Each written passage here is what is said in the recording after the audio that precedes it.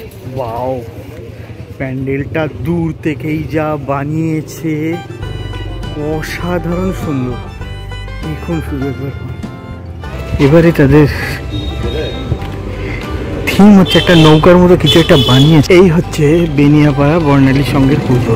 এবারে এদের থিম হচ্ছে বদ্রীনাথের মন্দিরের আদলে এদের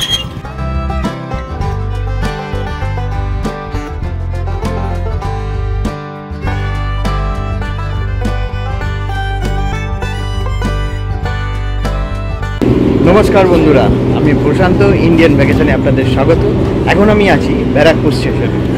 আজকে কালী পুজো, একত্রিশে অক্টোবর দু হাজার চব্বিশ। ব্যারাকপুরে কালী ঠাকুর দেখতে এসেছি। চলুন, দেখা যাক ব্যারাকপুরে কালী প্রতিমা। কলকাতা বারাসাতের মতো ব্যারাকপুরেও বেশ কিছু ভালো পুজো হচ্ছে এবং ইদানিং সেই পুজো খুব নাম অর্জন করেছে। ব্যারাকপুরের মনিরামপুরের পুজো বিখ্যাত হয়েছে, তাই আজকে আমি মনিরামপুর যাচ্ছি ব্যারাকপুরের পুজো দেখার জন্য।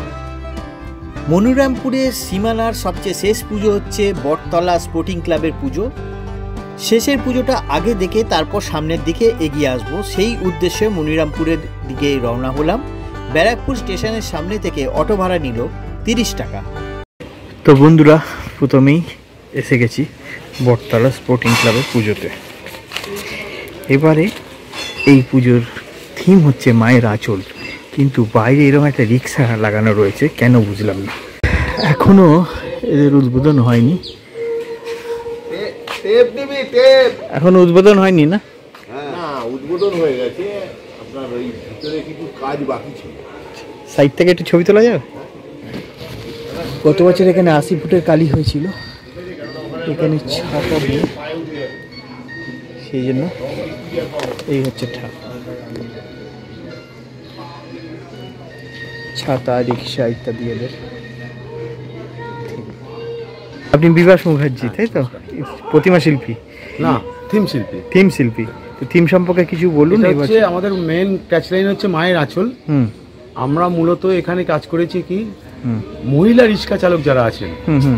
তাদের নিয়ে আমাদের টোটাল আচ্ছা। কনসেপ্ট এখানে গড়ে উঠেছে। এই জন্য এই এই শাড়িগুলো সাদাটা আপনি এটা শাড়ি দেখছেন এইখানে যে সাদা ওয়ালটা দেখছেন হ্যাঁ, হ্যাঁ। এটা দিনের বেলা এফেক্ট পাবেন না রাত্রিবেলা যে আমার শ্যাডো গ্রাফি আছে হ্যাঁ, সেই হ্যাঁ। শ্যাডো গ্রাফিতে টোটাল কাজটা আছে আচ্ছা। এবং টোটাল মণ্ডপটাতেই মহিলা রিক্সা চালকদের যে তাদের জীবনযাত্রা তারা কীভাবে থাকেন তারা কীভাবে হ্যাঁ। চলেন সেটাকে নিয়ে। অর্থাৎ একটা রিক্সা চালিয়ে একজন মহিলা রিক্সা চালক তার সংসার নির্বাহ করেন। এরকম খুব কতিপয় মহিলা রিক্সা চালক আছেন যাদের জীবনীটাকে আমরা তুলে ধরছি এবং সমাজের কাছে বার্তা দিতে চাইছি যে নারীরাও কিন্তু সমান তালে পুরুষদের সঙ্গে এগিয়ে চলেছেন। তো হয়ে গেল বটতলা স্পোর্টিং ক্লাব। এইবারে এখানে সামনেই একটা দাসপাড়া অ্যাথলেটিক ক্লাব বলে পুজো আছে, সেখানে যাব। চলুন যাওয়া যাক। এটা হচ্ছে এইটি ওয়ান বাস স্ট্যান্ড যেখানে বটতলা স্পোর্টিং ক্লাব আছে, আর এই রাস্তা দিয়ে, অর্থাৎ স্টেশনের দিকে যে রাস্তা চলে গেছে, সেখান দিয়ে গেলে আসবে বটতলা অ্যাথলেটিক ক্লাব এসে গেছি দাসপাড়া অ্যাথলেটিক ক্লাবে চলুন, যাওয়া যাক, দেখা যাক। বাও প্যান্ডেলটা দূর থেকেই যা বানিয়েছে, অসাধারণ সুন্দর। দেখুন শুধু একবার বিউটিফুল প্যান্ডেল দেখুন শুধু প্যান্ডেলটা। Daspara athletic club. অসাধারণ সুন্দর প্যান্ডেল, অসাধারণ। চলুন, এবার ঠাকুর দর্শন করা যাক। চলুন, সামনে লাল ফরাস, সেটা দিয়ে উঠতে হবে। অসাধারণ সুন্দর এই মণ্ডপ। দেখুন। আর এই হচ্ছে মায়ের প্রতিমা। রাত্রিরে এলে লাইটিং দেখা যায়, কিন্তু এত সুন্দরভাবে মায়ের দর্শন হয়তো হবে না। দেখুন, দাসপাড়া অ্যাথলেটিক ক্লাবের ঠাকুর। এখানে ডেকোরেশনটা এইভাবে করা হয়েছে, দেখুন। আমাদের রাষ্ট্রপতি মাননীয় দ্রৌপদী মুর্মু, মীরাবাই চানু, লক্ষ্মীবাই ঝাঁসি রানী এখানে পিভি সিন্ধু, মাতঙ্গিনী হাজরা, অবনী লেখরা, গুঞ্জন সাঙ্কেনা, ভবনাকান্ত এবং দুর্বা চট্টোপাধ্যায়। এরা প্রত্যেকেই নিজে নিজ ফিল্ডে প্রতিষ্ঠিত। আর এখানে আছে লতা মঙ্গেশকর, নাইটিঙ্গল, আমরা বলতে পারি একে। মা সরস্বতীর রূপ, তারও ছবি এখানে আছে। এদেরকে নিয়েই হচ্ছে এই বছরের দাসপাড়া অ্যাথলেটিক ক্লাবের থিম নেক্সট ডেস্টিনেশন হলো খেয়ালি ক্লাব। সামনেই আছে, চলুন, পায়ে হেঁটেই সব ঘুরতে পারবেন অ্যাথলেটিক্স ক্লাব থেকে বেরিয়ে স্টেশনের দিকে যে রাস্তা গেছে সেই রাস্তা দিয়ে গিয়ে বাঁ হাতে একটা মন্দির পড়বে, সেই মন্দির দিয়ে গলিতে ঢুকলেই খেয়ালি ক্লাব। চলুন, যাওয়া যাক খেয়ালি ক্লাবে। এদিকে দেখবেন গুরু ভোলানন্দ আশ্রম, আর ঠিক তার অপোজিটে হচ্ছে খেয়ালি ক্লাবে পুজো। চলুন, যাওয়া যাক খেয়ালি ক্লাবে।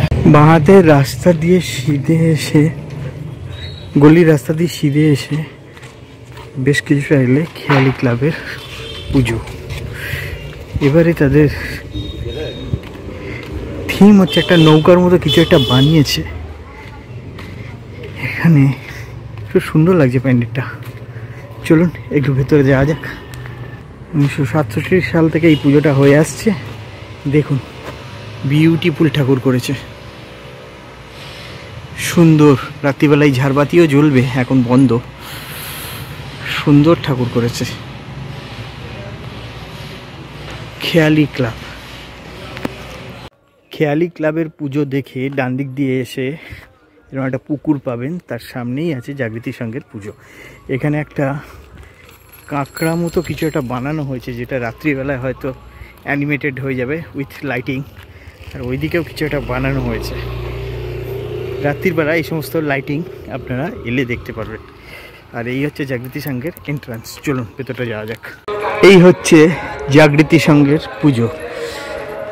এবারে এদের থিম পরীর দেশ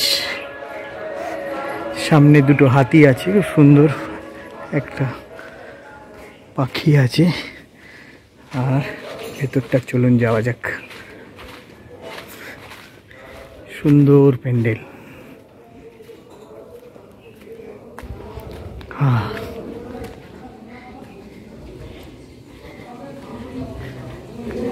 সুন্দর প্যান্ডেল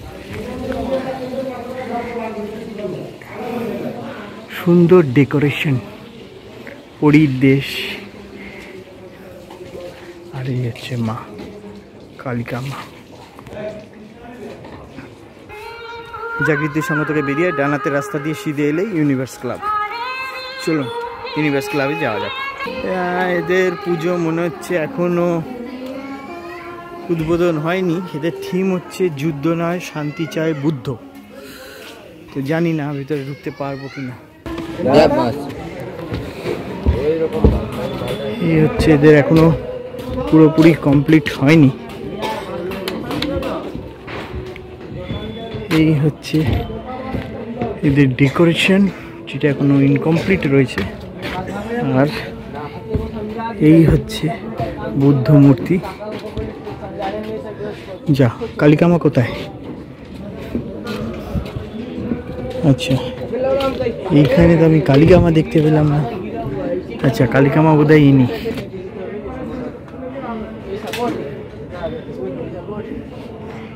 এই হচ্ছে ইউনিভার্স ক্লাবের ঠাকুরটা আমি বুঝতে পারলাম না কি। দেখ, ঠাকুর তো প্যান্ডেল সুন্দর করেছে, এসে দেখে নিতে পারেন। এবারে যাব বর্ণালী সঙ্গ বেনিয়াপাড়া। আর আজকের এই যাত্রার এই কালী পুজোর দেবী দর্শনের যাত্রার লাস্ট ঠাকুর দেখব আজকে, বেনিয়াপাড়া বর্ণালী চলুন পথে যেতে যেতে একটা কালী ঠাকুর পড়ল, দেখুন শুধু। অসাধারণ সুন্দর।